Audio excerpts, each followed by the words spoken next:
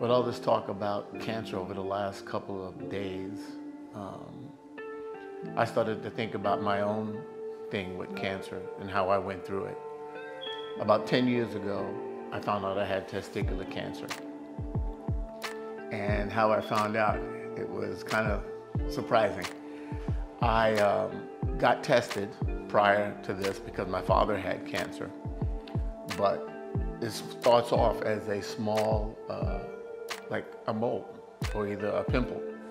And it got larger within like a week's time. I was like, oh my God, this is not a, a pimple. There's something wrong here. So I started doing some research online. And when I checked, it said immediately go to your doctor and get checked out.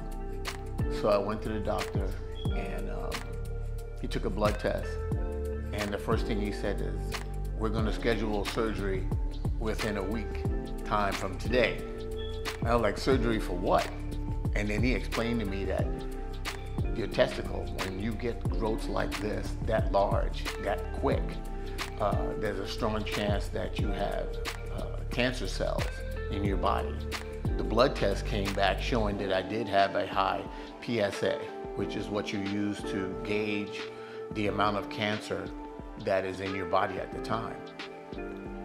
So we took the test, it came back positive, and then after that, the following week, I had to go and have surgery. And he explained everything to me as far as what I would go through. Um, there would be either chemo or radiation after this. And I was scared because I didn't know what to do, what to say, how to feel. So, okay, I went through the uh, surgery. And then he said, for the next couple of months, we're gonna have to do chemotherapy and uh, probably even uh, radiation. Trying time for sure. So, okay, um, they did the surgery and I had to stay home for about, I guess I couldn't really be mobile really for about two to three weeks. And it was kind of hard to get back into walking because you want to stand upright but the suture area where they make the incision to remove the testicle, um, it makes it hard to stand up. So you have to be careful because you don't want to tear the area that you had the surgery on.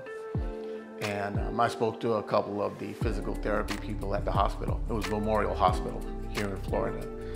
And they told me that you should practice trying to stand up straight after three to four weeks, if you continue to walk bent over, it won't be uh, positive for your uh, posture. You know, stand straight up. You know, it'll hurt, but you got to get your body back in order. So I did that. And then once that was over, I had to end up going back to the hospital. And on a co-op week, uh, one week where I'm getting uh, chemotherapy for seven days, and then the other seven days I'm off. Uh, I did this for almost two months. All my hair fell out, eyebrows came off. Oh God, it was it was a trial situation.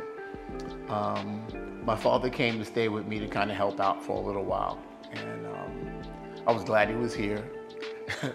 he offered to give me a haircut, and I said, okay, fine, yeah, give me a haircut because I hadn't been to the barber in months. I went in the shower to take a shower and I'm shampooing my hair. And as I'm shampooing my hair, all my hair starts to fall out. Now I kind of knew it was gonna happen, but I didn't think it would be that drastic. But as time went on, I'm rubbing my hand through my hair and my hair is coming out in clumps and I'm beginning to freak out. I'm like, is this the way it's supposed to happen? You know, I, I didn't really think it was gonna happen like that. So I come out the shower And my father says to me, Did you cut your hair? And I said, No. I said, Dad, it was the chemo. The doctor told me, you know, sooner or later your hair is going to fall out. anyway, that was one of the side effects of doing chemo. Now, the doctor automatically told me too that I would get uh, queasiness, uh, uh, stomach would be upset, I'd lose my um, appetite, and I was saying to myself, oh, okay, so I'm gonna lose weight over the next couple of months, you know, or whatever while I'm going through this chemo. Turns out I had the opposite effect. I was hungry all the time, tell you a situation. I'm in the hospital. This is one of the co-op weeks that I'm getting chemotherapy. And um, I'm hungry. I mean, I ate lunch, I ate breakfast, I was snacking throughout the day. I ordered a Domino's pizza, meat lovers, with extra everything on it, and a 64 ounce Pepsi. The uh, nurse calls me and says, hey, your pizza is in emergency. Would you like me to go get it? I said, yeah, I gave her the money, she went and got it. And when she brought it up, she said, this pizza's awfully heavy. You think you'll be able to eat the whole pizza? You know, you want me to put some of it away? I said, no, just bring it in the room. I ate the whole pizza and drank the whole 64 ounce Pepsi in one shot. And she couldn't believe that I ate that much. But that was just some of the side effects that happened. It, it, it, was the opposite side effect of what we experienced or what the doctor experienced with previous patients and said that this time it, it just worked opposite. Anyway, over the next couple of weeks, uh, from being in the hospital to get the chemotherapy and then being at home, it totally whacked out my senses. Um, I can smell anything.